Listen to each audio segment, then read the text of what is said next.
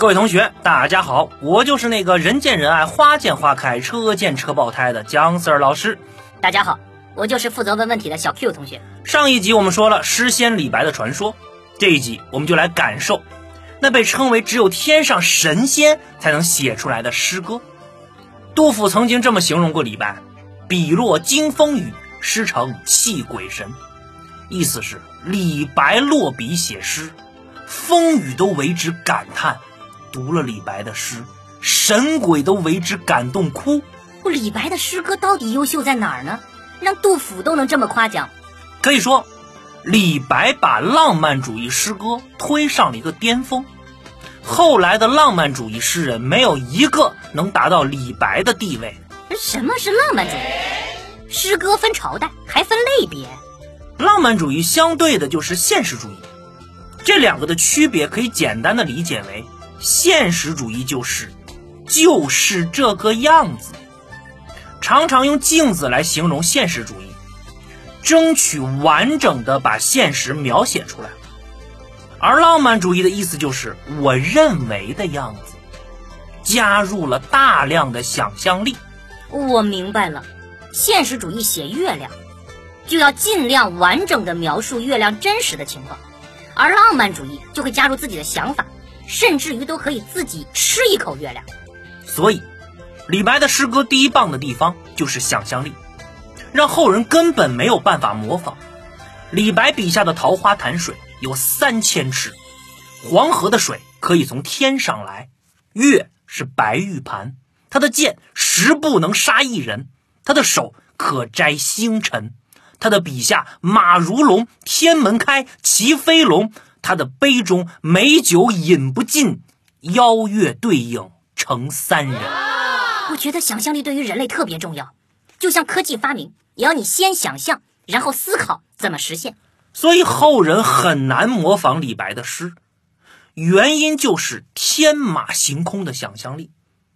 同时，李白不仅有想象力，他的很多诗歌往往不需要铺垫，直接到达高潮。就像唱歌一样，我不仅仅是开头唱高音，我从头到尾一直都是高音。我，这太难了，这太需要天赋了。这个世界上有天赋的人很多，但李白是既有天赋又努力的诗人。据说李白仿写两三千篇古人的作品，一直写到自己满意为止。我知道差距了。我们听到同学的作文写得好，往往就是心里默默的说声好，但李白就会想办法模仿。这就是李白的成功之路，不仅有天赋，更多的是模仿，然后超越。那李白一共写了多少首诗歌？目前传下来一千多首。我们今天就来欣赏一下诗仙的一些名句。第一句：公元七四二年，李白四十一岁。他一直都认为自己是可以治理天下的大人物，但缺少机会。而这次，他得到了唐玄宗的召见，要见皇上啦，要飞黄腾达啦。小 Q，如果是你，你会说什么？我会说耶，是那种伸出两根手指的耶吗？是啊，照相我也是这个姿势。李白才不耶呢，诗仙写下了。仰天大笑出门去，我辈岂是蓬蒿人？仰天哈哈大笑，我能理解。蓬蒿人是什么人？感觉和植物有关？难道是植物人？你说的一半对。蓬和蒿都是野草，在这里指的是普通的平凡人。李白的意思就是：我怎么能是普通人呢？我要去见皇帝了。后来，李白去了长安。有一次，唐玄宗与杨贵妃正在赏花，音乐家李龟年领着乐队在唱歌，但唐玄宗不高兴了，啊每天唱的都是这些歌词，就不能换一换吗？去把李白叫过来，给我写点歌词。李龟年找到李白的时候，李白已经有点喝醉了。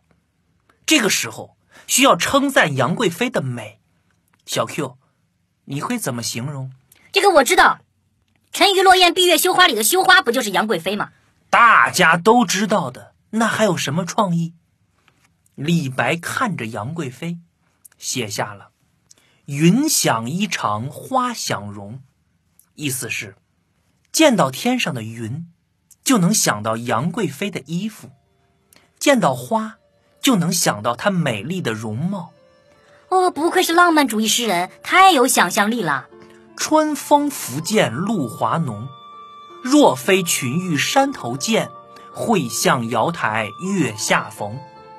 李白说：“杨贵妃如此天姿国色的美女，不是群玉山头所见的飘飘仙子，就是瑶台殿前月光照耀下的神女。